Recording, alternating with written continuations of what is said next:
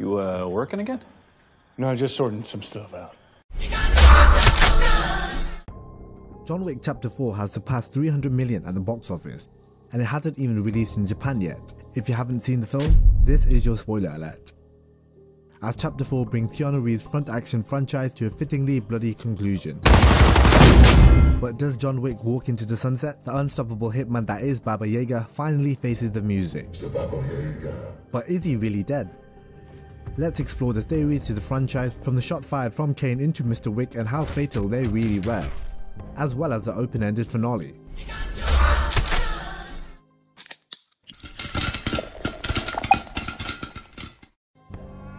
From Chapter 3 Parabellum. Watch this scene. John arrives at the medic. After the knife wound he received from the assassin in the fight in the library, a non-fatal wound in his left shoulder at least 3 inches deep. And a few stitches and some pills later, John is back at doing what he does best. However, before he leaves, and to show to the high table that he forced his way in for using the services, he shoots the medic at two safe points, the shoulder and the abdomen. Reminiscent of anything? We see with the ending of chapter 4, John is shot in the exact two same places. Was that the plan? You're going to die. Maybe not. We already know that John and Caine are expert marksmen and proficient with their way around all types of weaponry. Whether it's using a stealth recon scout sniper or modifying a vintage Remington 1875 revolver or a pencil. Caine being blind also dispatches 4 or 5 mercenaries at point blank using a customized P365 SAS pistol so we know his precision is also top notch. And with the outcome of the duel, the plan was clearly to take out the Marquis, knowing that his arrogance will get the better of him. The final battle takes place using ceremonial dueling pistols. To what appears to be reminiscent of Thompson Center Arms Encore pistols, using custom Silvercast 4570 government cartridges.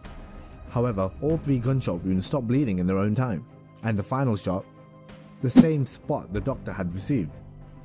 A cleverly orchestrated bit of directing that not many members of the audience noticed.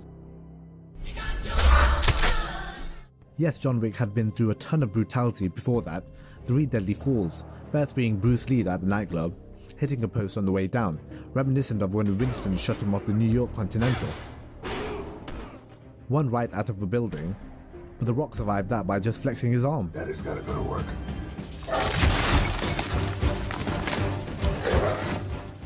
And another down a flight of stairs. A very long flight of stairs. But this is John Wick. And John Wick defeated the High Table by playing by their rules. Killing the Marquis in any other way would have brought up more Hydra heads. Just another one to replace it. And instead recognized as a saint by the Assassin's World.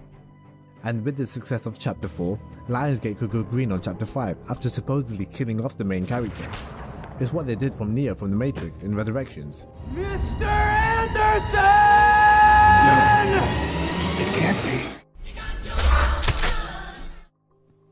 John has two personas, the Baba Yaga, the beloved husband. Though all we ever saw was the unstoppable hitman, his life as an assassin ended. As he ends chapter 4, only reminiscing his time with his late wife, whispering Helen. The end of his violent path is represented on his gravestone, where we can cut all ties with the assassin's world, including his dog being taken care of by the Bowery King. He has now found his resting place. The Baba Yaga is dead, though Keanu Reeves stated in an interview that he will do a lot more dancing as John Wick in the ballerina. I mean, I, I do John Wick dancing. and uh, So, we will definitely get one more crack at the legendary Hitman, doing what he does best.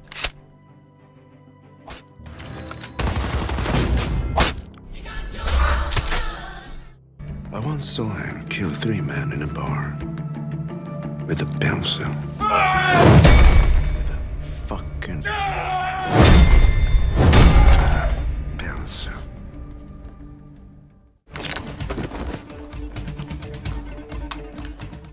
Thanks for watching, and if you're liking the content, please like and subscribe.